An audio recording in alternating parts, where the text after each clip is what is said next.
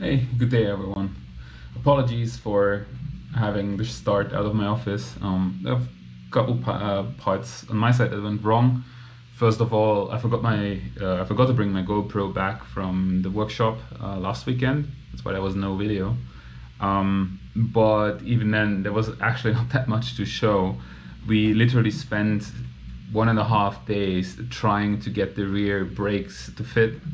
So what happened? Um, the ones I ordered were from a company called Dynamic Friction uh, via Rock Auto, and they were supposed to fit on the rear. Now, when we tried to mount them, we noticed that some of the holes they are slightly off, or some of them are simply missing, um, like the lower one for for the lower spring, basically.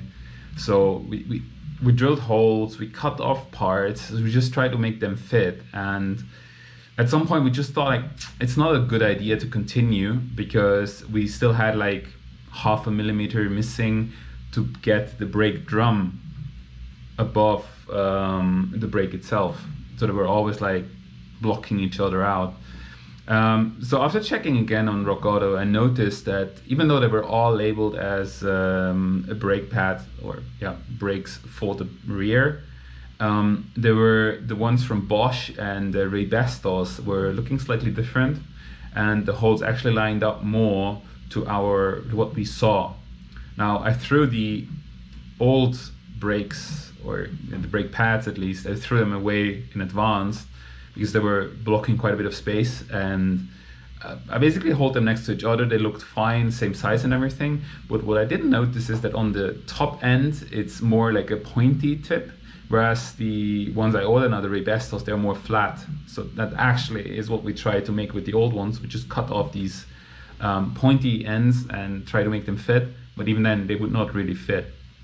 So I ordered last Saturday, Sunday the uh, uh, the new pads from Rock Auto, but I ordered them to Germany because we have this stupid import restriction in Switzerland um, whenever you import it and you're a dealer that does I don't know like above fifty thousand dollars or francs or something uh, of of business with Switzerland, you need to tax everything. Now uh, Rock Auto says um, they will only deliver once you order for at least seventy five dollars because that's then when it starts to make sense to do like the official import duty.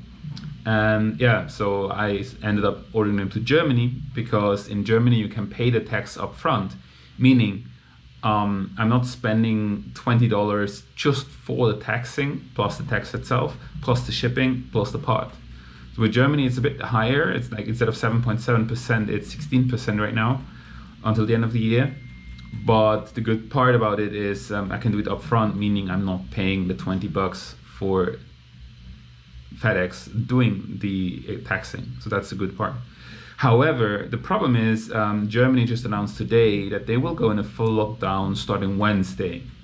And the package from FedEx was supposed to arrive already on Friday, but even Friday midnight, it still said uh, it will be delivered until 6 p.m., which it didn't obviously because it was midnight already.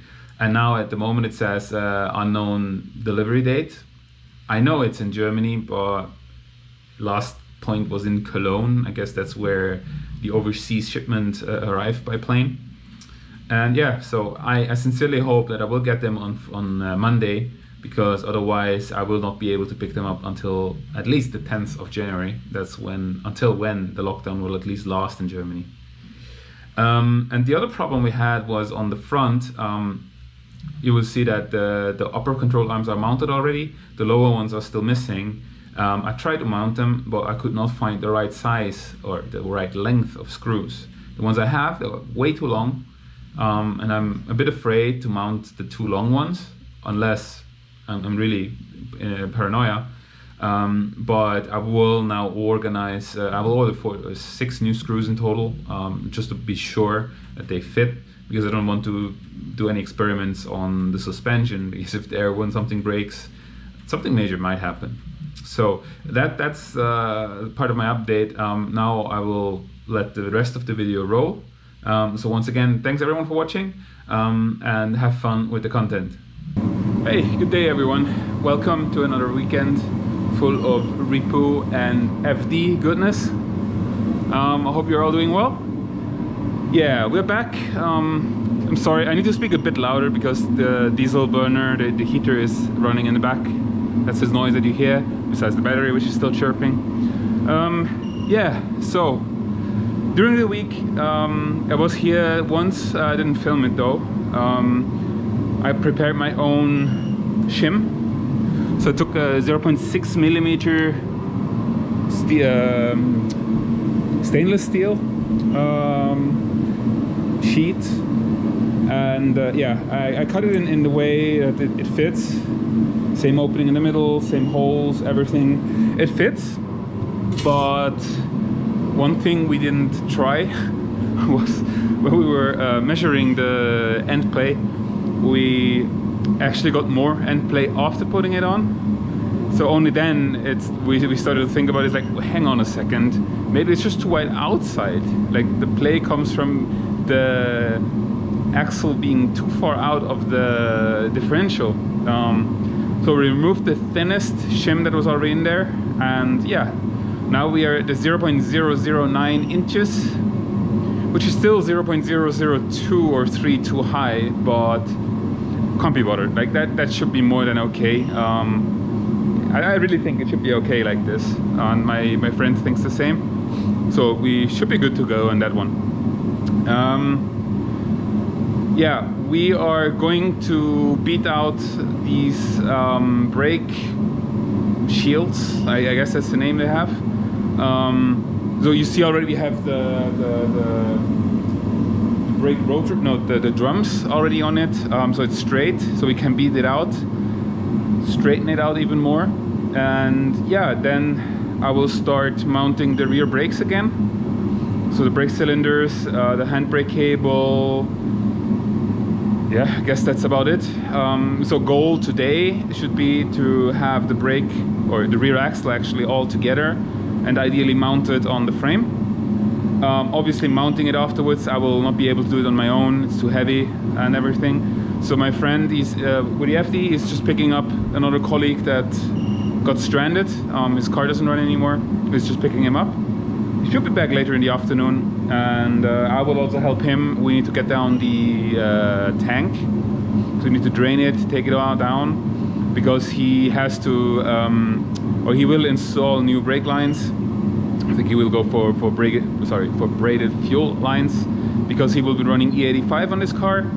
So just to make sure that all the old uh, rubber hoses that they're all replaced, that they're all E85 safe. And uh, yeah, besides, he will also replace the, the diff cooling and um, he's changing the clutch. Um, don't know if it's already in there or not. Yeah, so uh, that, that's his plan. Um, I would say let's get this going.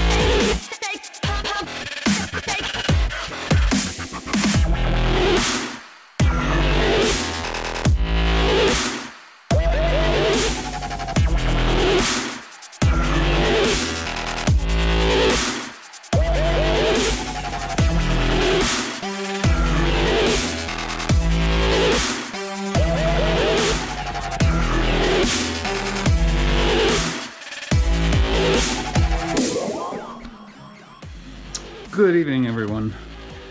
Yeah, so quick update. There's not much of an update, to be honest. As you can see, the axle is still sitting here.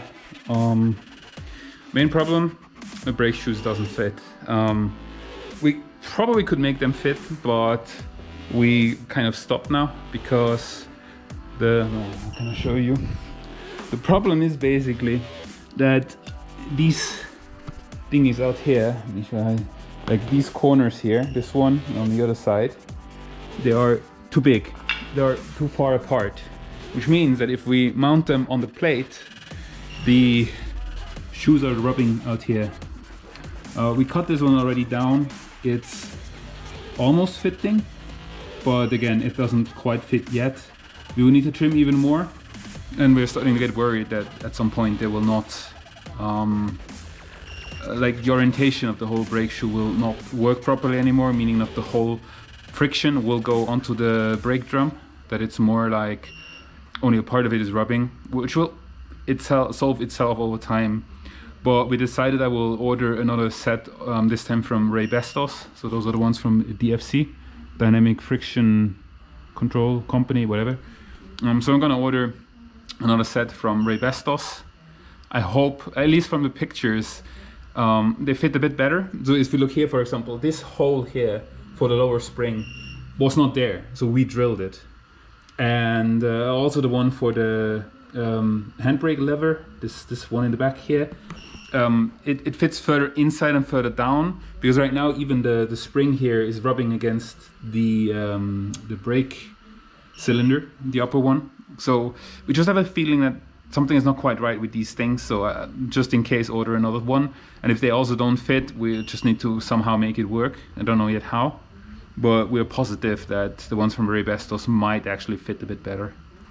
So um, I'm gonna place another order with um, Rock Auto.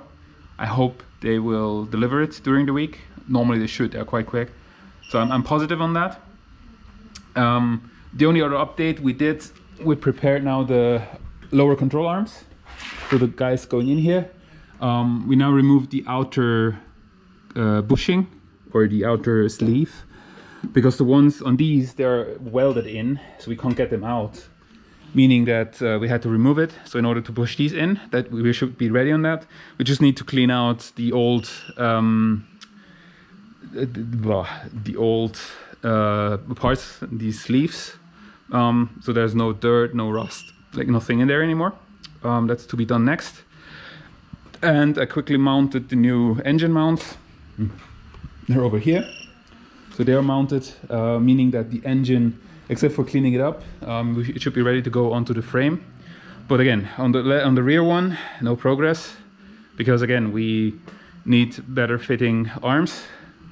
And next weekend we will definitely prepare the, uh, the front the lower control arms, the upper control arms. We try to get everything together so that at least the front stands on its uh, wheels.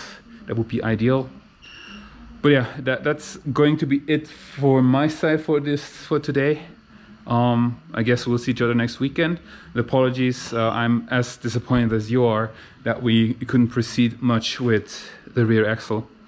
Um, so I hope next week we get some progress done on that yeah, so I wish you all a good week and hopefully see you soon again next weekend. Um, yeah, uh, leave a subscribe if you're liking what you see. I uh, would appreciate it and wish you a very good week. And again, see you next weekend. Take care, everyone. I'm out. Bye bye.